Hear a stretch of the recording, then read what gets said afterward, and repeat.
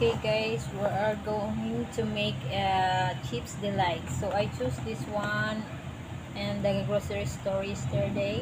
Oh, by the way guys, I am sorry. It's very noisy here outside. So uh, baka makopyright tayo. So ito guys, uh, chip delights. So I'm gonna make uh, cookies. So let's put our flour here and I'm going to add uh, one eggs and butter on here. So stay tuned lang tayo guys. I I'm just trying to make a cookies right now. So let's put our one egg. Then I put the butter on it. Guys, a little bit of milk, a low fat magnolia milk. Fresh. Then mix it well hanggang yung ating uh, harina is mix ating eggs and butter.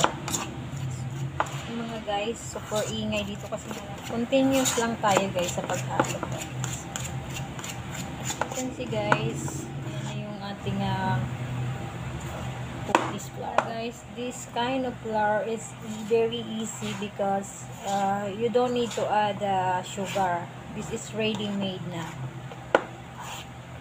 Now guys, we have uh, Guya chips here for our uh, cookies delight. So I'm going to add uh, the chocolate.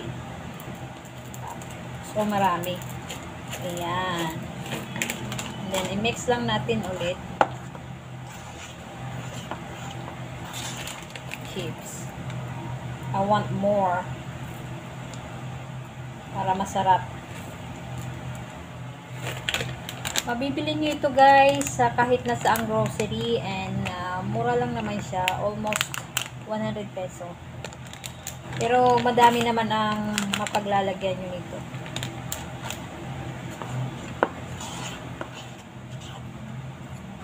As you can see guys, so na-mix na natin ang ating uh, chips, chocolate, cookies,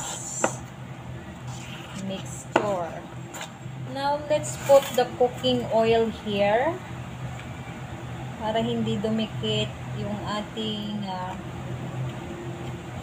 baked cookies. So, now guys, this is the finished product of our uh, cookies today that I baked. So, as you can see guys, I made uh, 80 slice of cookies right now. So, this is, is the chocolate chips inside of our uh, cookies.